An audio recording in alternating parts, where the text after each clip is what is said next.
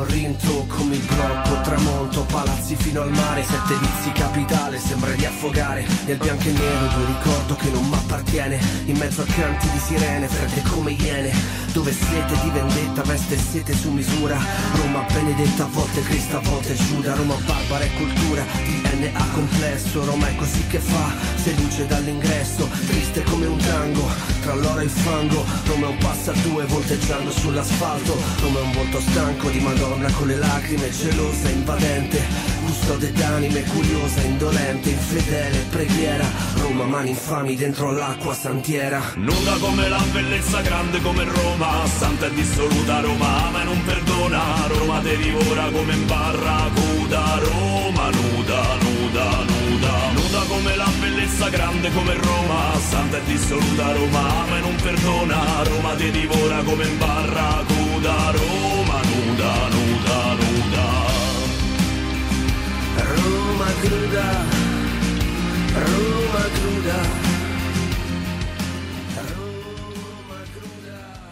Dai rifiuti ai trasporti, da un buon esempio ad uno cattivo. Siamo infatti a metà gennaio e i dipendenti della Roma TPL, l'azienda, per chi non lo sapesse, che assicura i trasporti più periferici in città, non hanno ancora visto la loro busta paga di dicembre. E questa è una situazione che si protrae ormai da diverso tempo fra vari rimpalli di responsabilità. Per questo il SUL, Sindacato Unitario Lavoratori, ha scritto al sindaco Raggi affinché la situazione si aggiusti e gli stipendi vengano regolarmente pagati.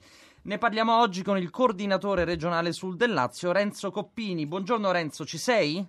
Buongiorno, buongiorno a tutti. Buongiorno. Che succede Renzo in eh, Roma TPL?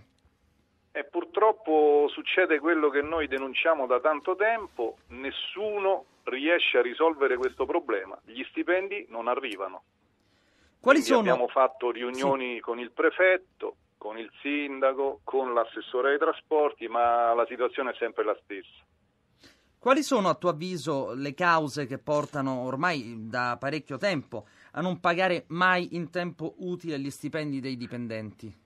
Ma c'è sempre questo scaricabarile di questa società che dice che i contributi il comune non glieli invia per tempo, quindi le fatture non vengono pagate, il comune invece dice che i pagamenti sono regolari e in mezzo si trovano i lavoratori che non hanno colpe e continuano a lavorare senza che gli vengano erogati gli stipendi. In tutto ciò c'è anche, ehm, raccontaci, un problema, non so, di mancanza di mezzi, di autobus rotti. Sì, Qual è? perché poi eh, la situazione è talmente grave che praticamente questa società, con la scusa che non arrivano, poi c'è un vecchio contenzioso, c'è Eh, un lodo che il, comune, che il comune deve pagare molti milioni di euro che ha scaricato sui costi di ATAC, quindi ATAC deve dare molti milioni di euro alla Roma TPL. Con questa scusa Roma TPL non paga i fornitori, non paga le ditte che fanno manutenzione, quindi che cosa succede? Che molti mezzi rimangono fermi all'interno dei depositi e vengono soppresse giornalmente tante e tante corse. Ma eh, quindi secondo te la percentuale di quelle che non escono, si- delle vetture che non escono, si aggira intorno a quali numeri?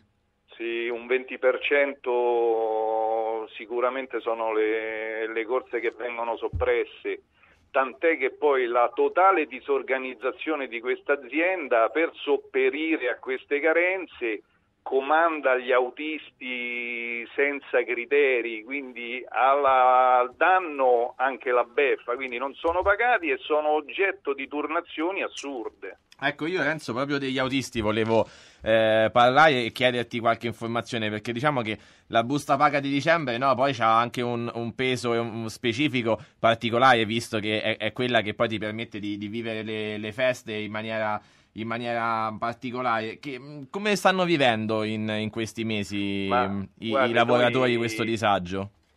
La situazione è, è bruttissima perché ci sono dei ragazzi, hanno delle famiglie, praticamente sono tutti, li stanno protestando perché devono chiedere prestiti, perché stiamo parlando di stipendi di 1200, 1300, se fanno gli straordinari arrivano a 1400, 1500 euro e sono costretti a chiedere prestiti. Chi vive e ha la fortuna di vivere con le famiglie, quindi chiede i soldi ai genitori, cioè queste sono le condizioni di queste famiglie.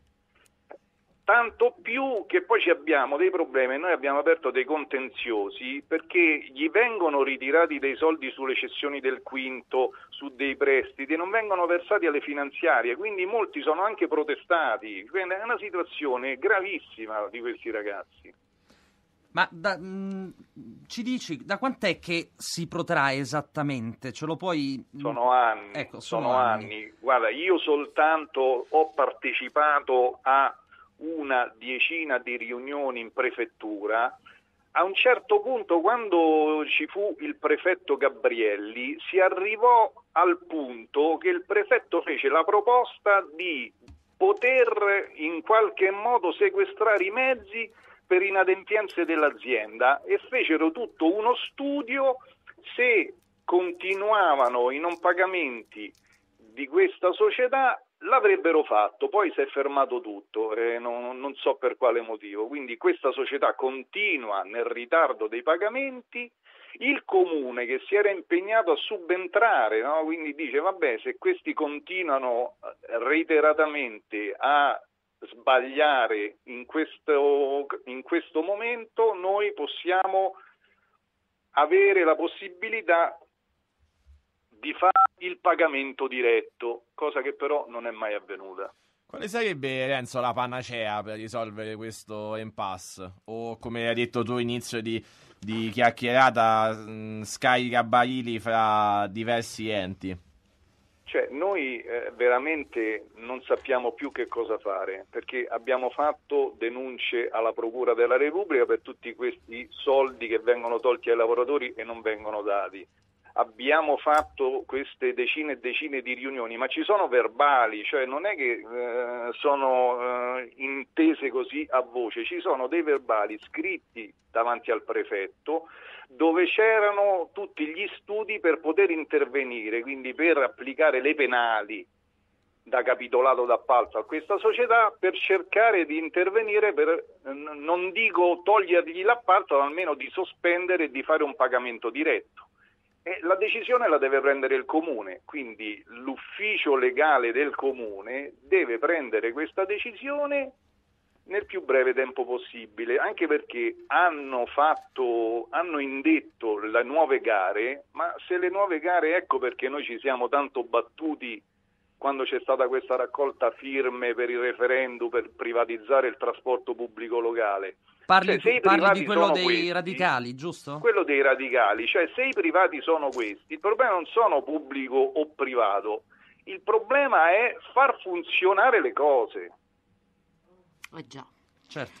Senti, Eh. se, avere- se tu avessi la possibilità, diciamo così, di avere qui davanti a te, eh, anche come coordinatore regionale, il sindaco di Roma, l'assessore ai trasporti, forse anche qualche cittadino che si lamenta del disservizio, cosa diresti?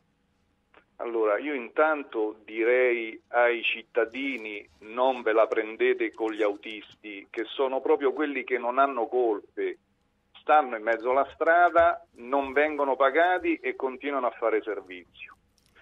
Se, ma cose che gli abbiamo sempre detto durante le nostre riunioni, quindi all'assessore, allora i mezzi credo ci siano, bisogna applicare le penali, bisogna fare in modo che la legge funzioni, cioè se questa società è inadempiente, eh, non è possibile che sono tre anni che mese dopo mese non vengano pagati gli stipendi e tutto continua ad essere così com'è. La, l'amministrazione deve poter prendere una decisione, cioè questa società ha vinto una gara, può continuare a prendere in giro i lavoratori? Cioè c'è una, un ente, quindi il sindaco, l'assessore, il prefetto, un giudice che possa dire siete inadempienti, non potete più garantire il servizio, bisogna cambiare? Noi questo chiediamo. Quindi, e siccome l'avvocatura del comune è stata investita di questo problema da anni, io credo che debbano risolverlo prima o poi. Eh certo. Va bene Renzo, speriamo insomma che la situazione eh, si aggiusti e siamo sempre, il nostro canale è sempre disponibile ad ospitare realtà come Sì, la Io vi vostra. ringrazio, io vi ringrazio anche perché noi, eh, non so se vi siete accorti, noi potremmo fare uno sciopero ogni dieci giorni, ma non ce la sentiamo più di fare perché poi i danneggiati sarebbero gli stessi lavoratori che senza stipendio e gli utenti che non c'entrano niente, cioè l'anello debole di, questo, di questa problematica sono gli utenti e i lavoratori. Perché Quindi noi continuare a scioperare è una cosa assurda, una cosa Renzo, assurda. ricordiamo pure che Roma TPL è quella che assicura i, i trasporti pubblici nelle zone più periferiche della città. Sì, Noi abitiamo cioè, a Roma, siamo- quindi abbiamo assistito a qualche vostro sciopero e obiettivamente si blocca la parte dove Eh. poi i romani abitano e quindi Sono 20 milioni di chilometri, cioè non stiamo parlando di una piccola società, eh, stiamo parlando di 20 milioni di chilometri, quindi tutti i collegamenti periferici verso il centro. no, ehm, avete ragione. Avete ragione. evidente. Però eh, cioè, qualcuno ci deve poter aiutare perché noi veramente questi ragazzi sono arrivati allo sfinimento, queste famiglie sono arrivate allo sfinimento, cioè è una situazione incredibile. Va bene Renzo, allora noi ehm, insomma ecco siamo qui a disposizione per, ehm, per te e per voi insomma per quello che è un problema eh, di tutta quanta la Grazie, città. Quindi grazie. eh, magari torneremo a sentirci nei prossimi mesi per capire se c'è qualche evoluzione rispetto a quanto ci hai raccontato tu questa mattina. Per il momento noi ti ringraziamo per essere stato con noi e per averci spiegato quello che sta succedendo Grazie, Ciao. grazie a voi che ci date la, la voce, io in in una piccola rappresentanza di questi ragazzi perché è, è critica ed è tragica. Anche perché situazione. ricordiamoci Renzo che dietro un autista c'è una famiglia, per cui mm, Sì, sì, non è un eh, robot. veramente. Grazie, grazie Renzo. Renzo buona giornata Grazie a voi, Ciao. buona Ciao. giornata. Vedi mi sentivo strano, sai perché? Stavo pensando a te. Stavo pensando che... Che figata andare al mare quando gli altri lavorano. Che figata fumare in spiaggia con i draghi che volano. Che figata non avere orari, né doveri o pensieri.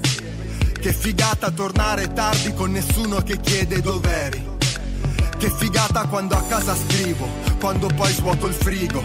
Che fastidio sentirti dire sei pigro, sei infantile, sei piccolo. Che fastidio guardarti mentre vado a picco, se vuoi te lo ridico. Che fastidio parlarti vorrei stare zitto, tanto ormai hai capito. Che fastidio le frasi del tipo, questo cielo mi sembra dipinto. Le lasagne scaldate nel micro, che da solo mi sento cattivo. Vado a letto ma cazzo è mattina, parlo troppo non ho più saliva. Promettevo di portarti via quando l'auto nemmeno partiva. Vedi mi sentivo strano,